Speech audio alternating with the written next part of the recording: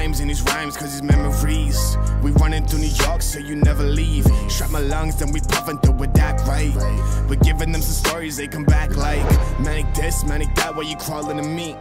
The hell we gonna. Okay guys, welcome back to the channel. So today we're just to be changing over the brake pad wear sensors on my car. The reason I'm doing this is because when my car went into dealer for the recalls, they end up bringing up on the vehicle health check that all the brake pad wear sensors have been cut. Now, they know me. I don't like that kind of stuff. If they tell me something's wrong, I'm gonna go and repair it. Like they said, this is the cleanest E60 they've ever seen.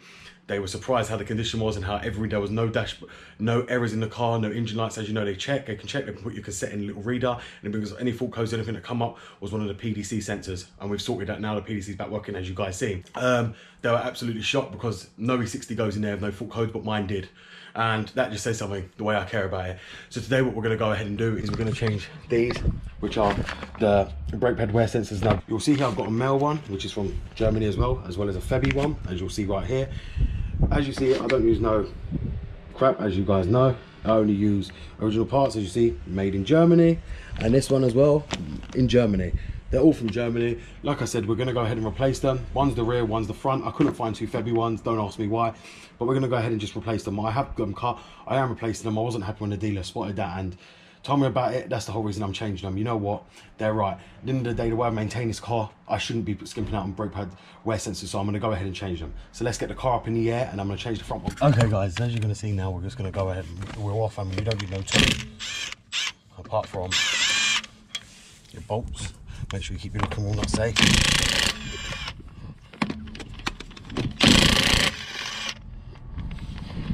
some of the bolts will be rusty, so just remember that. Just want to put them to the side.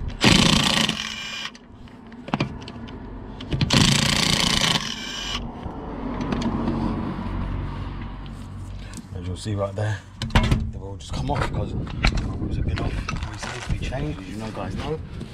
So you put that here, and now put you up here, so you can see.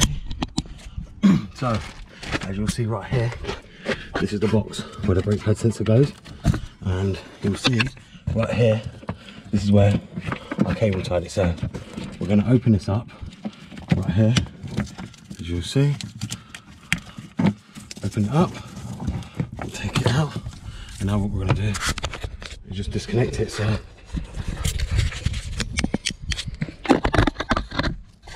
we're just going to disconnect this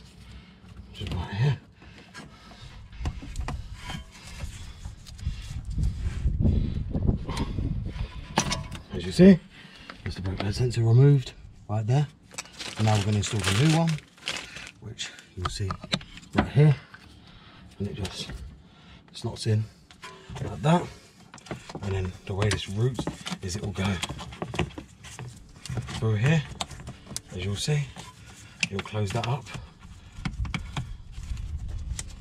Like that and make sure it is closed. You don't know water getting in there then what you're going to do is you're going to want to route this round so you'll see here right here you're going to want to clip it up here then you're going to want to clip it into right here. You see. You see, we clip it.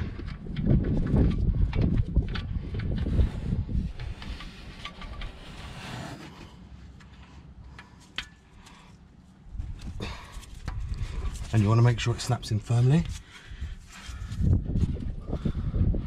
If it's an original German part like that one is, as you see, that's now in. So now what we can do is put the wheel back on, as you'll see. So now we're going to put the wheel back on and then go to the rear, which the rear is going to be on the driver's side. As you see, this wheel in the UK is on the passenger side. This will be the same side as your driver's side in the US. So just remember, you come here to change the sensor. So as you can see there, guys, that's the wheel now back on. So now what we're going to do is remove, to go to the driver's side rear and do the sensor on that side. So let's go over to the driver's side rear now. Okay guys, so the rear wheel. Take out it all out and take out the bolt.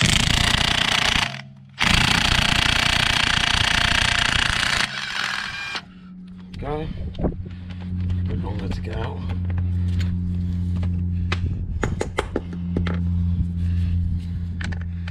One of the bolts were over top.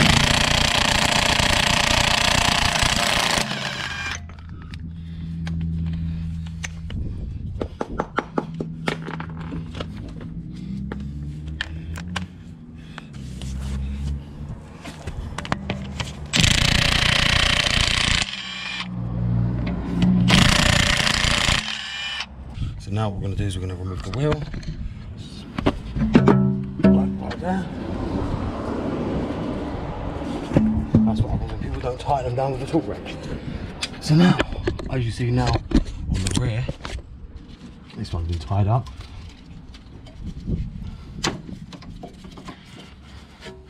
And bear in mind guys, these are all like it when I just changed when I changed all the brakes and I never got around to doing them because I had the bought ones but not, not being exact ones so now uh, we're going to do them now makes sense too so that one's out you can see we're going to use the Febi one.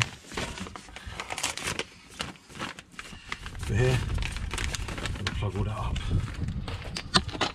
And as I said guys these will cause your brake wobble if they're not working properly. So be aware of that. You can see someone's tied up around the wrong way.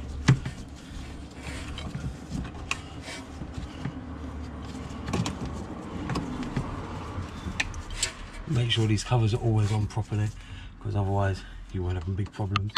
They're not. Come around there. Right here. And then you just want to clip it into the brake hole again. Which you'll see? Right here. You just want to push it in there. So we're going to try and push it in if I can.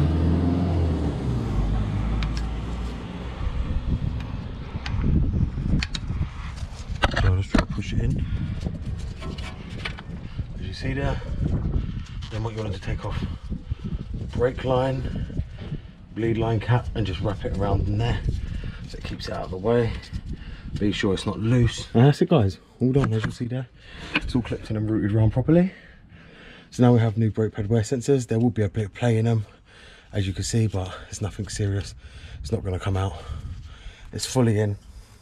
And fully seated in so just wrap it, remember to wrap it around here, which is the bleed brake screw, and pull it all in the lines where it's meant to go, just so it's out the way of water. And make sure this case is always covered, as I tell you, it's an electronic case. You don't want to end up frying any of your electronics.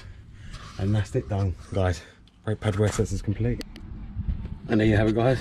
The wheel's now back on. The brake pad wear sensor is now complete, fully. And all thanks to this thing right here, which is my Makita, you know, impact gun, the big one and it removes the wheels as you saw like nobody's business. Very helpful and very useful for doing anything that requires these kind of bolts to come off I will say the word but you know we can't. But there you have it guys. That's the ABS sensor complete nothing really much but they need to be done. It come up on my BMW notes and I thought no chance am I having that. So, Okay guys, as you just see now, we've just replaced the brake pad wear sensors on the E60.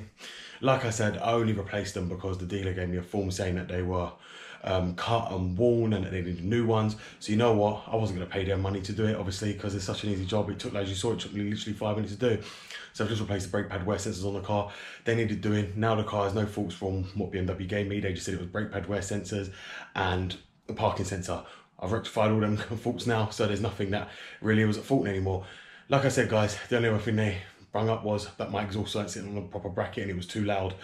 But, you know, at the end of the day, it is what it is. But as I say, guys, thank you very much for watching. As always, it's BMW Dr. Dean. I hope you've enjoyed this video. If you have, please give it a thumbs up. And don't forget to subscribe if you haven't already. Thank you very much, and goodbye.